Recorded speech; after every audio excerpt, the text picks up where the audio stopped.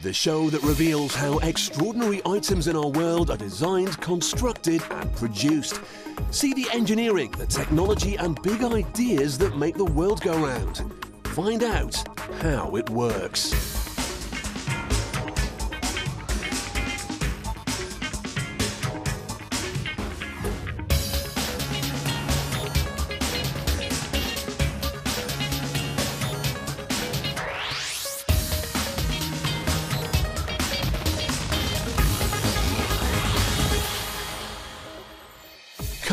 In the show, with nearly two out of three Brits wearing glasses these days, we'll be focusing on wire-rimmed spectacles.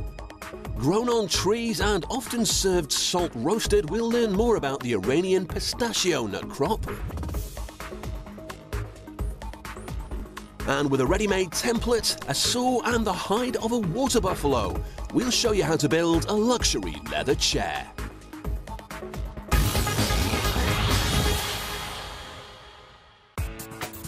First, often associated with hairy bikers, the Harley-Davidson is an iconic motorbike.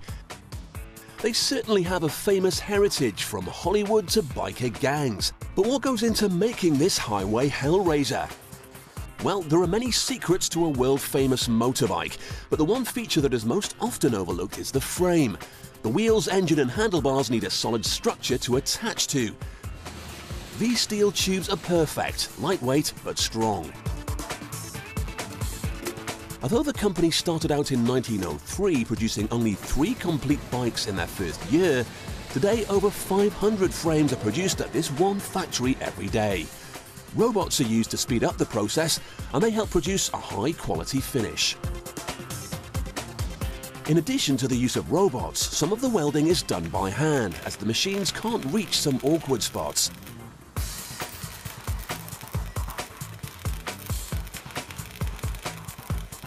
The completed subframe is heavy, so a crane is used to remove it from the workbench once it's done. The classic look often includes mud guards, and these are made using sheet steel. An enormous press shapes the steel into the traditional retro-style curves that are still a popular feature on these bikes. After the first press has moulded the mudguard into its signature shape, another one cuts away the excess metal. The grinder removes the rough edges and it's ready to go. Another part of the bike pressed from sheet steel is the petrol tank. The tank is made of three different parts. Two halves separated with a middle block so that it can sit over the subframe that has just been built. A laser cutter slices the tank shape in half. This gives it a perfect edge for when it gets re-welded later. Because they'll be filled with petrol, the tanks must be built carefully. Some bike manufacturers hire other companies to do it for them, but at Harley-Davidson, they produce their tanks themselves. Taking great care with his hands, the worker operates the roller welder which joins the sides back to back. They now have a space in the middle to take the third part which fits neatly between the two halves.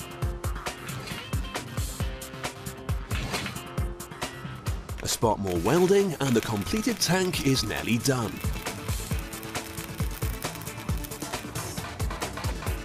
However, it's not just the build quality that's important. This worker's job is to ensure the new tank has a flawless surface, so it looks good as well as functions perfectly. Next, an engineer will take the finished tank, seal it and immerse it in this bath of water. If he sees a single bubble rise to the surface, the tank will be rejected. However, if it passes inspection, it can be sent on to the paint room. First, the different parts all have to be washed. The paint will only adhere to the metal if the surfaces are spotlessly clean. A variety of colour schemes are used. The workers will also tape up different parts. This means several colours can be used to paint one element, giving them a traditional two-tone effect. For that extra special retro look, additional coloured stripes are drawn on by hand, using these special templates and paint rollers. And finally, the Badge of Honor. Using a laser sight, the worker can line up the stickers so they are in exactly the right place every time. Gleaming V-twin engines now arrive at the factory. Their throaty roar is an important part of the motorbike's appeal. The bikes can now be built, the subframe is first and the engine is neatly fitted into place. Next comes the petrol tank, wrapped in cellophane to protect its custom paint job. The shaped mud guards or fenders are added on, but there's one major component still missing. Ah yes, the wheels. Modern motorbike wheels are made of a solid lightweight alloy, but despite being a fiddle to clean, old-fashioned wire rims are still popular on some Harleys. When the chrome is in this brand new sparkling condition, you can see why. Keeping with tradition, the rims are fitted with white wall tyres and slotted into place.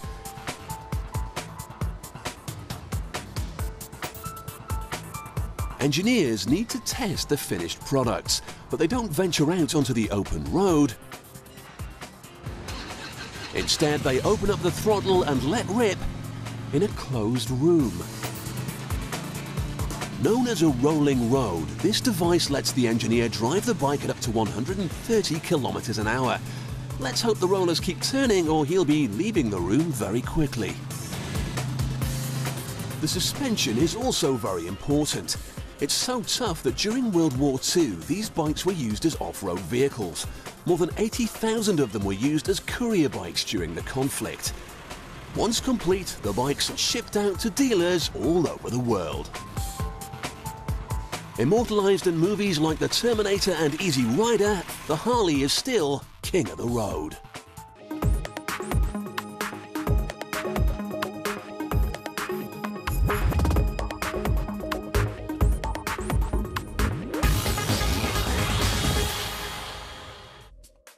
Wire-framed glasses have to be tough. They've got a tough job, and considering they're only made from thin wire, they need to be well built to start with. When you're making a pair of wire frames, you start with a design. To be strong, they have to be well made, so getting the specifications right is paramount. With the plans complete, the frames can begin to take shape. This machine is loaded up with huge reels of high-grade steel wire. The lens dimensions and the wire are fed in and the machine gets to work. Make sure the shape is absolutely perfect, a glass lens blank is used as a guide. The machine bends the wire according to the curves of this blank.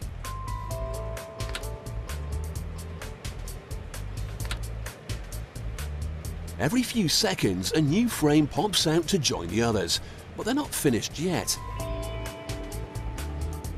Any lens put into one of these would immediately fall out, but there's a double solution provided by the next piece, which is the hinge.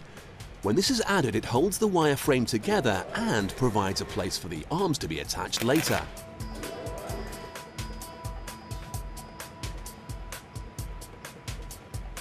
Now we've got a frame with a hinge, but that's a monocle. To make glasses, we need two hinged frames that are attached in the middle. This attachment is the bridge, and it's soldered into place using lead soldering wire. At 625 degrees Celsius, the solder melts and bonds the two sides together.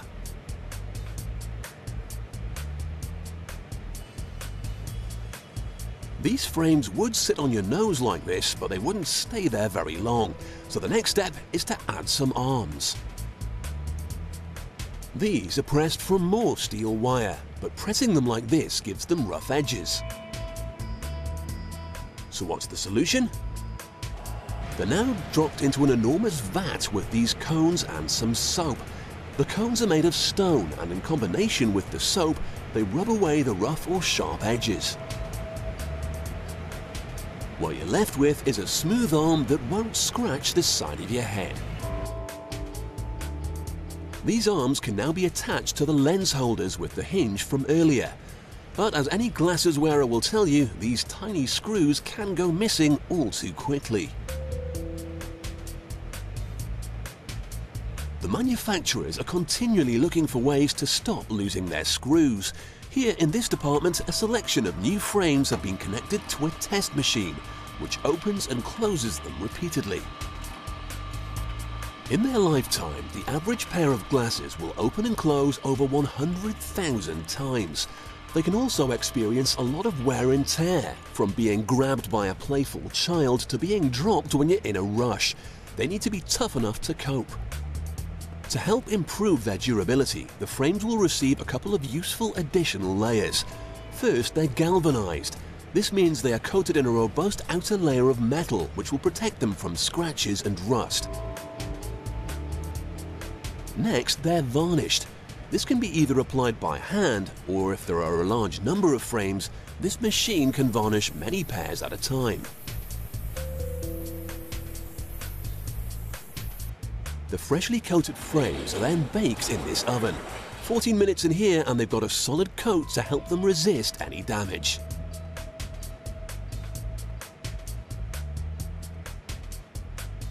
Now, your face and ears are quite sensitive, so the manufacturers add special rubber covers to the frames. There are two nubs where the glasses rest against the nose and the arms get covers as well.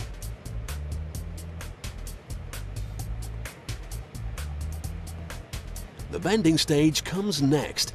This machine will curve the arms so they sit comfortably behind the wearer's ears. Almost everyone will need a pair of glasses at some time during their lives, so this is one industry with a clear vision of the future.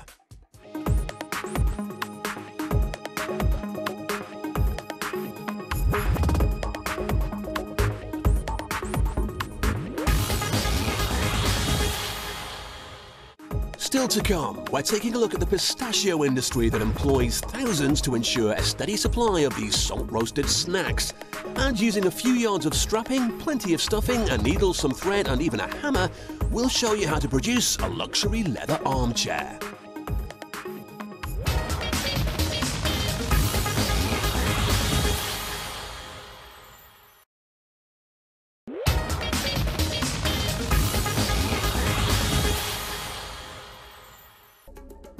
Delicious pistachio nut. This is a snack that can be described as fiddly and time-consuming, but if you have the patience, the effort is well worth it. They're full of energy and bursting with flavour, but where do we get them from? You may not know this, but the world's biggest pistachio producer is Iran. They say money doesn't grow on trees, but this tasty cash crop comes pretty close. Over 2 million people in Iran work in the pistachio business, many of them in the plantations. The autumn harvest produces between 2 and 300,000 tons every year. The pistachio grows as a soft nut inside a hard shell. When they're on the tree, they look like grapes. The nut can be eaten raw and is said to be delicious. However, they don't travel very well, which is why most of the pistachios we eat in Europe are dried. Once the raw pistachios reach the production facility, they need to be separated from the husks. These machines can sort around 80 tons of nuts, but loading them isn't very exciting work.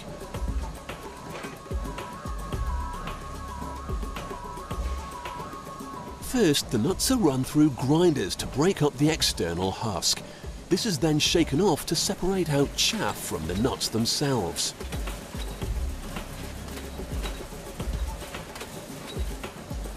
Nuts are then bumped over a sieve to knock off any determined bits of husk. The next machine pokes the nuts with tiny needles. Pistachio shells have to be opened so people can get to the nut inside.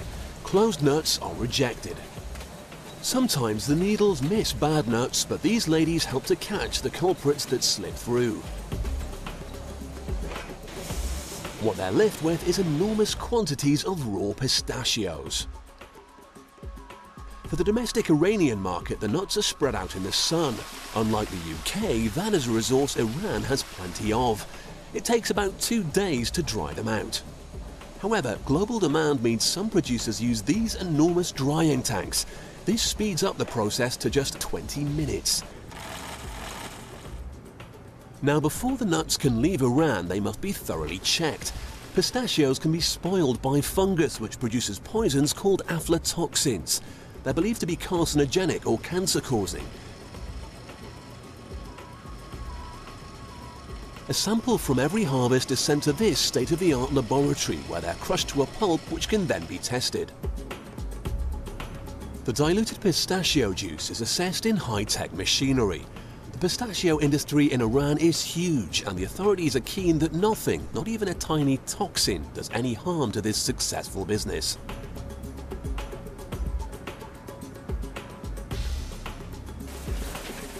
When the scientists are satisfied, the pistachios can be sent on to the packing department.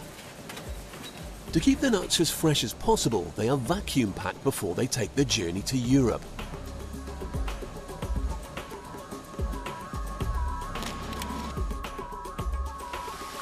When they reach the factories here, the first step is to double check the nuts. Hygiene and food safety standards in Europe are far stricter than other parts of the world. Sticks, stones or any other jaw-breaking debris has to be removed. The first stop is this space-age cleaner. In this machine the nuts are shaken while being blown around. The rising air carries away any light material whilst the shaking drops any unwanted debris into a bin below. In this form the pistachios are dried but still raw and unsalted. The first step is a salt bath. One ton of pistachios is mixed with 100 litres of salt water and then shaken like a martini. It only takes about 15 minutes for the nuts to soak it all up. They're then poured out of the shaker and sent straight to the roasting ovens. The nuts don't spend very long in here. 10 minutes at 160 degrees Celsius is enough to roast them, which brings out their delicious flavour. Pistachios contain a rich variety of vitamins and minerals beneficial to the health, including potassium, magnesium and vitamin B6. The nuts are divided up by weight and dropped into the bagging machine below. They're sealed and sent to the stores. So, from the arid plains of the Iranian plantations to a cocktail bar near you, the healthy and popular salt-roasted pistachio nut.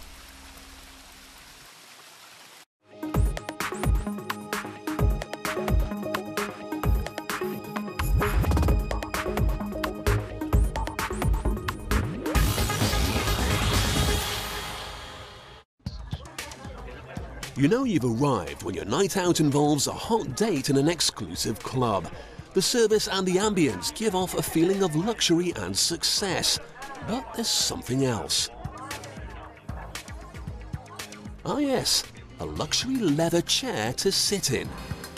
They may be one of the traditional parts of an exclusive members club in England, but these high quality leather chairs start life here in South Africa. To make one of these comfortable seats you'll need a design, and these templates are where the workers begin. All chairs have one element in common, a structure. The worker will mark up his raw material and this can then be cut into shape. Here he nails two pieces of wood together so that when he cuts the pieces they are identical. This will give the chair perfect balance.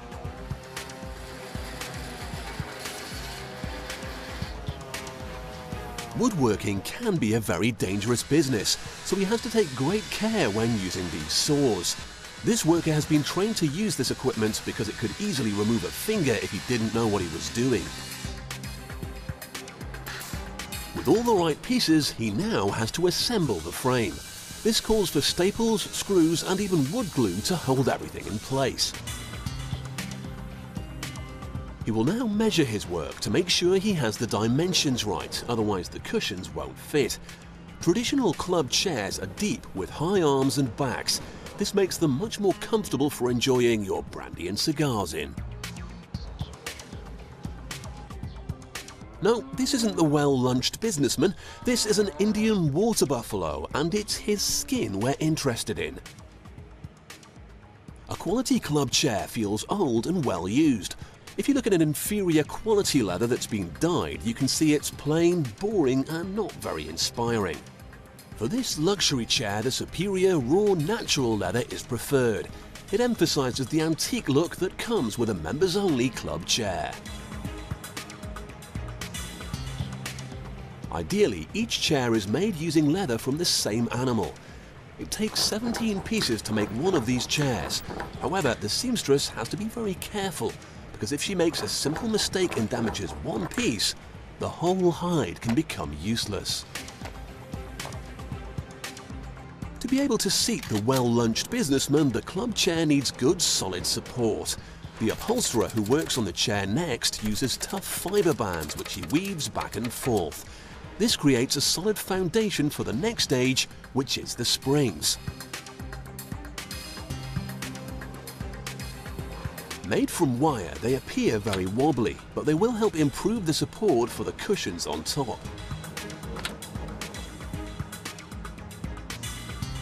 The springs are made even stronger when the worker ties them together with an elaborate series of knots.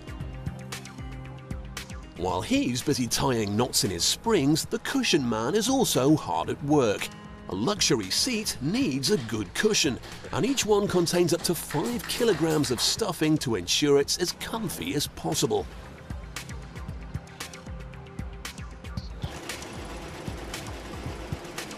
Here we see the covers being made out of the leather pieces. Thread is used that complements the leather's colour and great care is taken not to leave any marks.